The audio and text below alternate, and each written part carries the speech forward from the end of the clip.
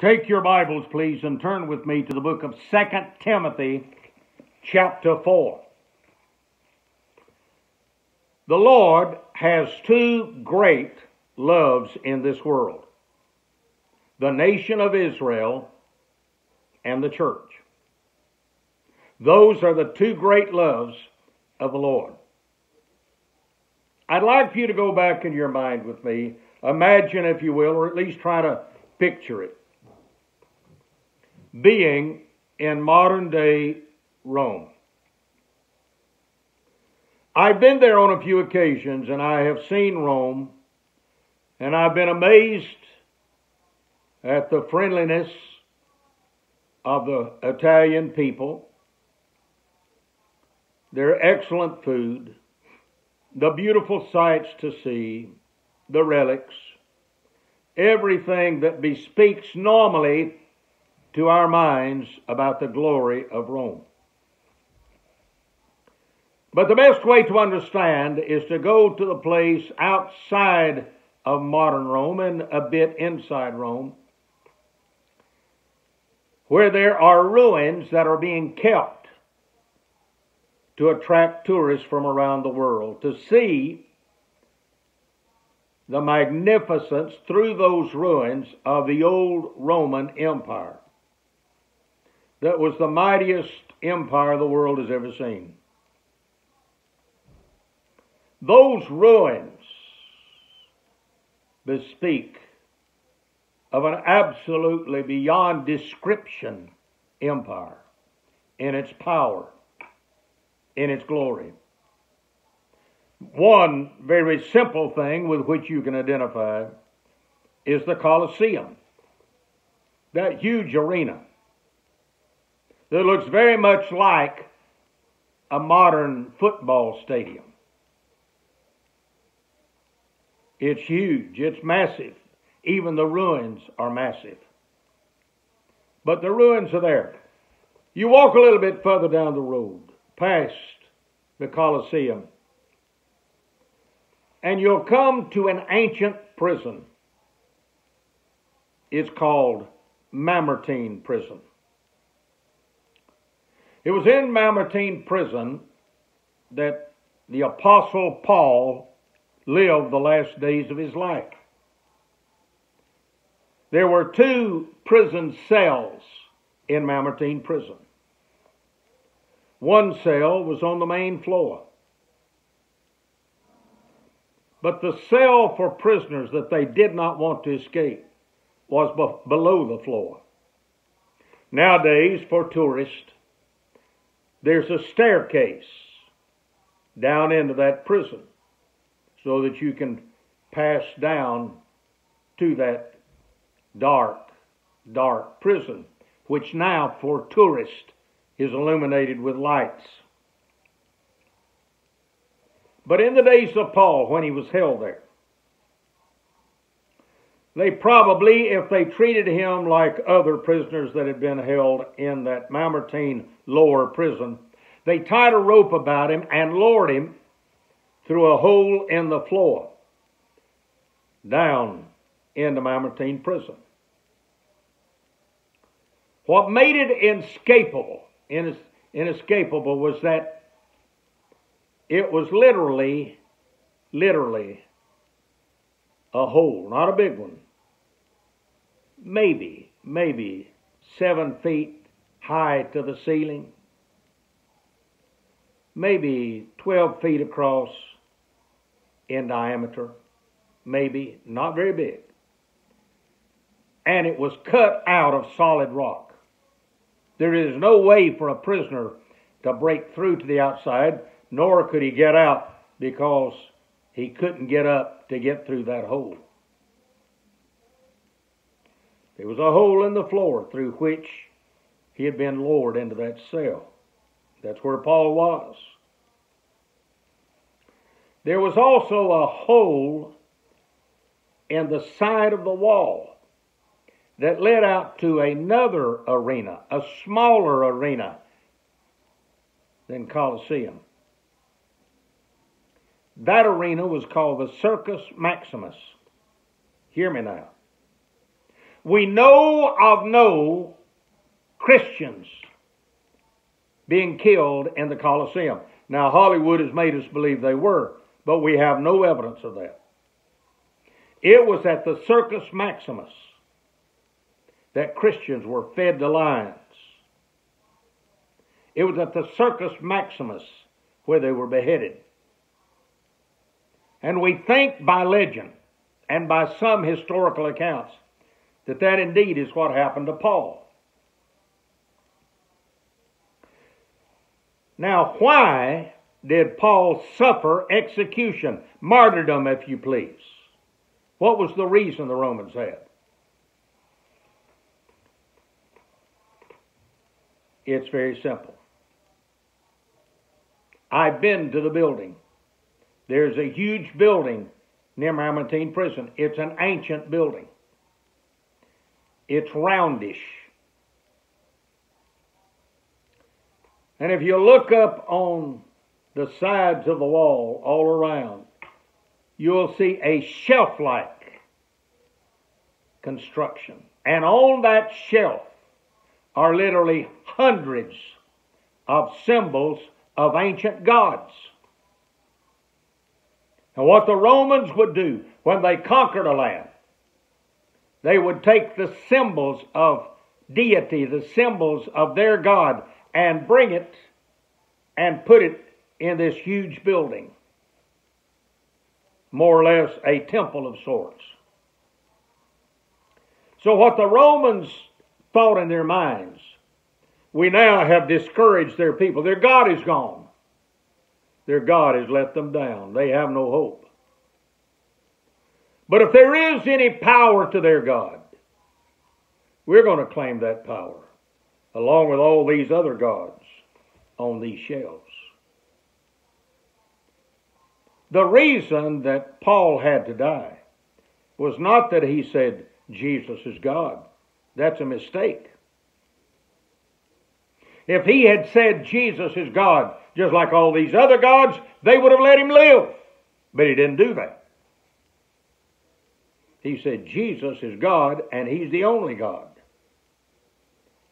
Well, if that were true, and people believe that, then that means all these hundreds of other symbols of gods they have in that building over there are nothing but pieces of art. They have no power, and we can't stand for that. So Paul died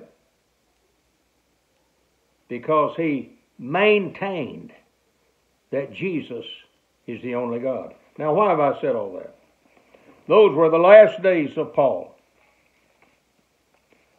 Most Bible commentators will tell you that Second Timothy was written in Mamertine prison.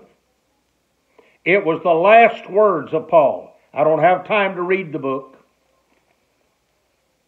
There are four chapters to the book of Second Timothy. Sometime this week, perhaps you ought to take it down and read it. And just remember, it's Paul's last words. But I would like to read a few verses from 2 Timothy chapter 4. I charge thee therefore before God and the Lord Jesus Christ, who shall judge the quick and the dead at his appearing and his kingdom. Preach the word. Be instant, in season, out of season. Reprove, rebuke, exhort with all long suffering and doctrine. For the time will come I'm going to change this. Not for the time will come, for the time has come. When men will not endure sound doctrine. It's already here. But after their own lust shall they heap to themselves teachers having itching ears. And they shall turn away their ears from the truth and shall be turned unto fables. And they shall turn away their ears from the truth, and shall be turned unto fables. Do you hear that? But watch thou in all things, endure afflictions. Do the work of an evangelist. That's me. I'm doing it. Make full proof of thy ministry. For I am now ready to be offered, and the time of my departure is at hand. There it is. Paul knew that he was about to die. I have fought a good fight. I have finished my course. I have kept the faith. Henceforth, there is laid up for me a crown of righteousness, which the Lord, the righteous judge, shall give me at that day. And not to me only, but unto them also that love his appearing. Now think about this for a minute. While Paul was in Mamertine prison, where were all the other Christians? Where were they? The other Christians in Rome were down the road, basically at a graveyard. I've been there, called the catacombs, underground. Catacombs. I've been in there and I've walked through the catacombs, and you can see the caskets with the mummified remains, many of them, of ancient Christians who lived there and worshiped there because Roman soldiers had a fear of going into the catacombs, pursuing people. So as long as they stayed there, they were safe from government intrusion. But Paul said, There's a day coming. People are going to want to hear something other than the truth. I'll tell you when that day came. A little over 300 years later, when Constantine became emperor of Rome, he became a Christian. And at that point in time, Christianity literally became the state religion. Now, these that had been hiding out in the tombs called the catacombs, fearful for their lives, despised by society, now were being honored and applauded. They could walk down the streets of Rome, down those broad avenues. They could shop in the marketplaces. They could attend public meetings because now they were honored as the religion of Rome. Instead of gaining power, they lost power. Did they gain influence? Of course they did. But often, when people gain influence as, as believers, they begin to get the applause of the wrong crowd. The real Christian is only interested in applause from one person, and that is the Lord Jesus Christ. And Jesus is counter to this world. Be very, very careful when the world begins to applaud you. Because often it means you're about to take a downward swoop. Those Romans were powerful. They were powerful. That great Roman army. I wish you could go with me. If you don't know what I'm talking about, if you've never been to Israel, at least look it up on the internet. Please look it up. You need to look this up. There is in Israel a place called Masada. Let me spell it for you. M A S A D A. Let me spell it again. M A S A D A. When the Romans were at their peak of power, King Herod, that hated king, built for himself a fortress 600 feet above the valley floor, not far from Jericho.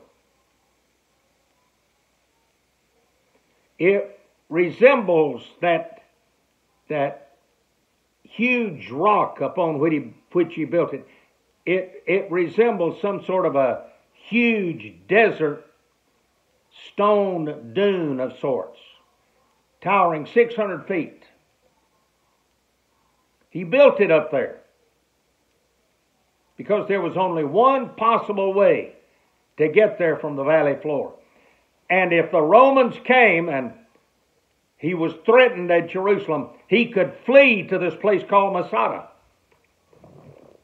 There is till this day that one way to get up there, to get that 600 feet to the top. And it's called the Snake Trail. It's called that because it winds back and forth up the one side that slopes enough that a man can walk it. But he would have to go single file. You couldn't even have two men on that snake path to the top. So what Herod and his men thought, even if the Romans try to come up, they'll only be able to come up one at a time. We'll kill them from the top.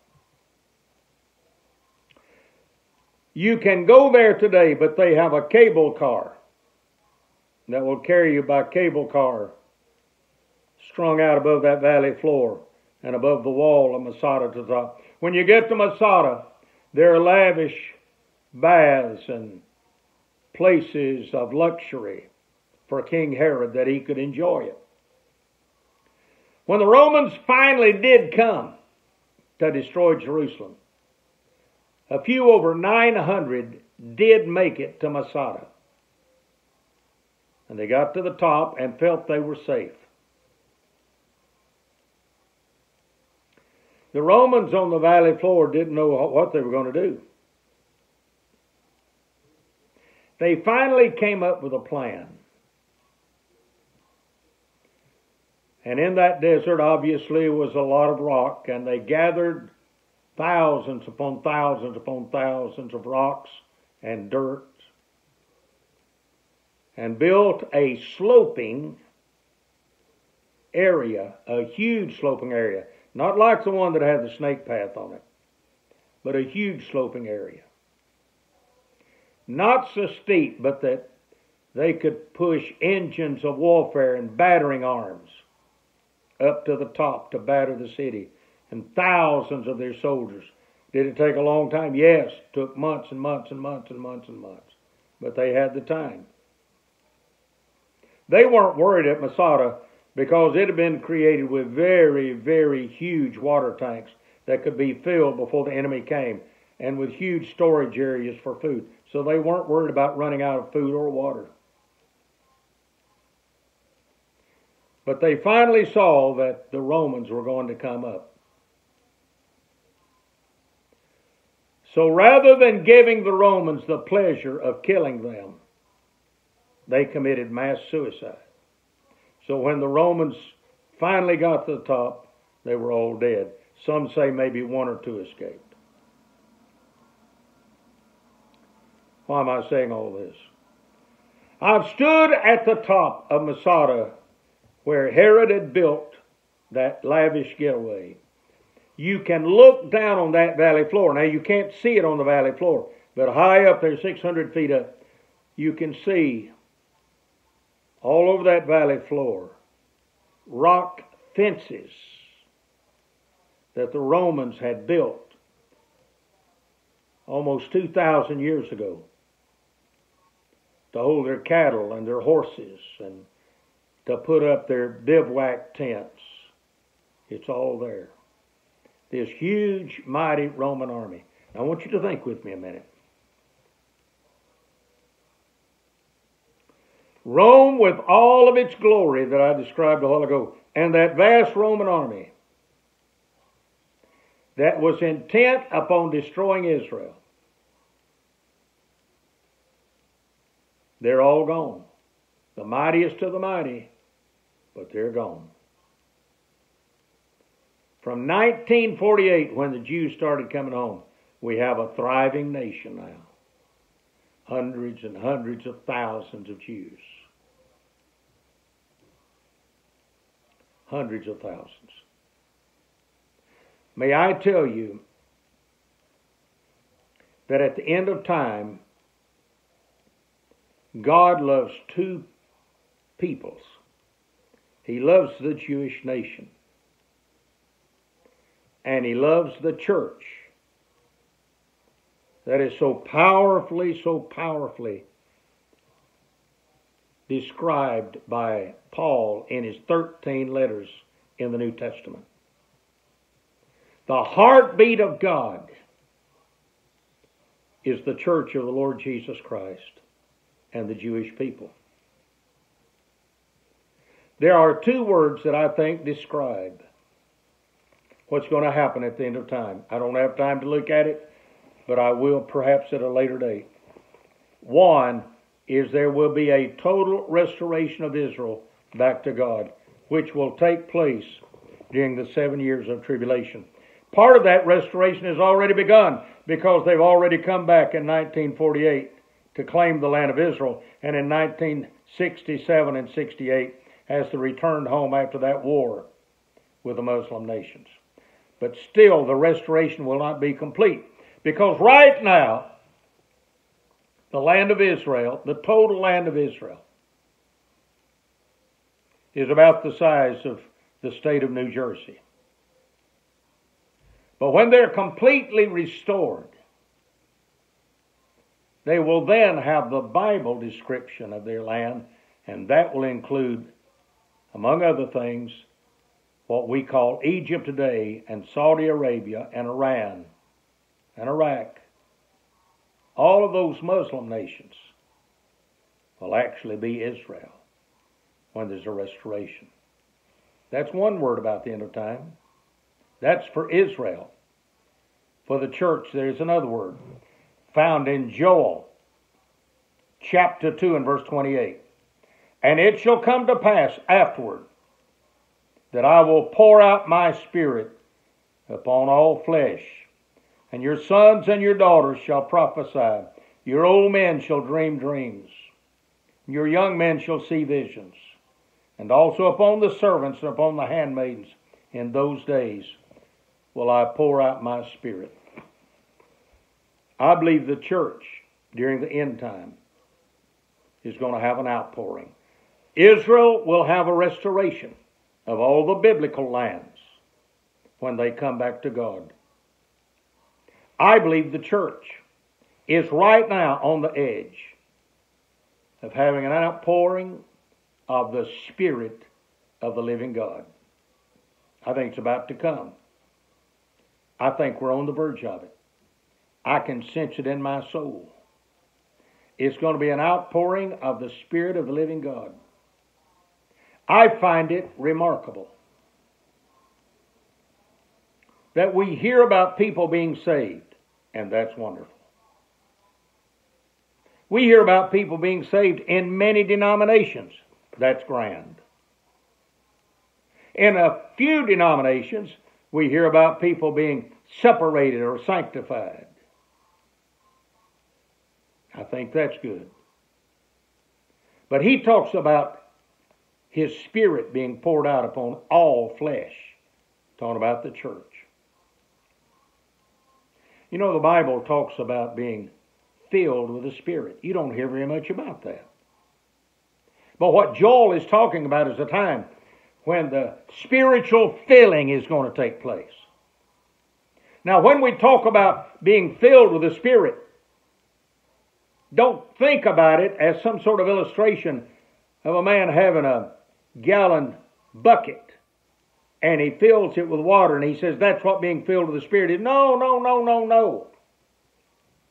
Being filled with the Spirit is like you at your house.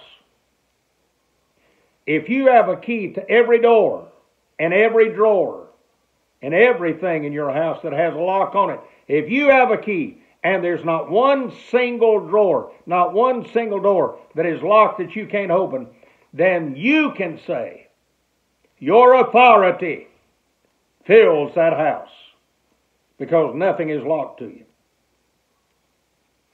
What the believer needs to understand today, the man or the woman that is truly saved, it's not enough to be saved. To have authority and power with God, you need to be filled with the Spirit. What is being filled with the Spirit? There's nothing in your mind that is locked to God. There's nothing in your life that is locked to God. There's nowhere in your relationships that you won't let God freely enter. Nothing in your entertainment world. Nothing anywhere. Everything is open to God. Is everything in your life open to God? Does He have access to every part of your life?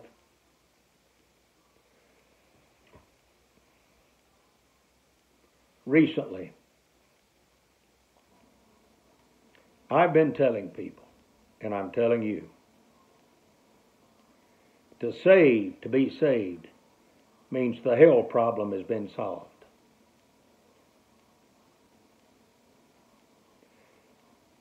Peter said five times in the book of Acts that he was filled with the Spirit.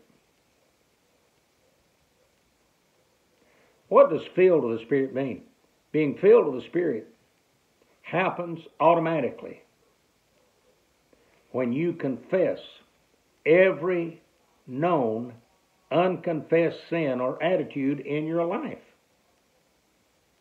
Is there an attitude you shouldn't have? Have you confessed it? You can't be filled with the Spirit until you do. Saved, yes, you're saved. Nobody's questioning that. But I believe there's going to come a time we're going to see something remarkable take place when people who are saved begin to confess their sins. Many years ago, at a Methodist school by the name of Ashley, there was a great spiritual awakening. During chapel one day, just an ordinary humdrum service with a preacher and some singing at Ashley. A young man got up and in front of the student body and faculty, he began to openly begin to confess sins that he had committed that stood between him and God. People at first were astonished. Can't believe he's doing it. And then another boy, another young lady, a faculty member. The chapel service time was completed, but this went on and on. After school, people were gathering in the chapel, confessing their sins. It ended up 24 hours a day, week after week. People began to hear about it, coming from far and near to confess their sins. Because when sins are gone, the Spirit has total access in your life. Let me say this to you. When you're saved, the Holy Spirit comes in and He's resident, but that's not good enough. He needs to be president. The Holy Spirit may reside in your life, but is He presiding in your life? That, dear brother, dear sister, is the question. Rome thought they could get rid of Israel. Why, we're big, powerful Rome. You're weak, miserable Israel. But God had a plan for Israel. It was restoration. Well, you Christians, Paul will just kill you, will behead you. We'll get rid eventually of all those Christians that are hiding out in the graveyards and catacombs. Why, we're big, mighty Rome. But God had a plan for the church, and it was an outpouring. I want to watch the restoration of Israel but I want to be a part of the outpouring.